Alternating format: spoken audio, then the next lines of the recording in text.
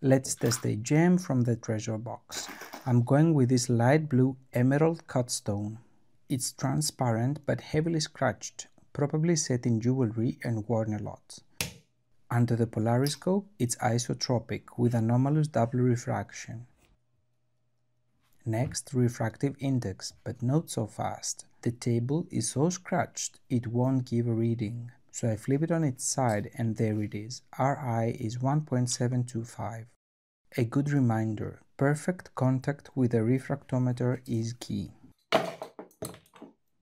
Specific gravity comes in at 3.57 after a few measurements. That narrows it down to natural or synthetic spinel, though the specific gravity is a bit low. I check the spectrometer, but I get nothing. Then I see that synthetic spinel might glow under UV light, and there it is, red under long wave, whitish under short wave. Mystery solved. No natural inclusions under magnification, just those surface scratches. This is a perfect example of what happens when a gem isn't quite hard enough for daily wear. Still, I can't help but think this gem was clearly special to someone who wore it every day for a long time and now it ended up in my hands. I hope it's happy.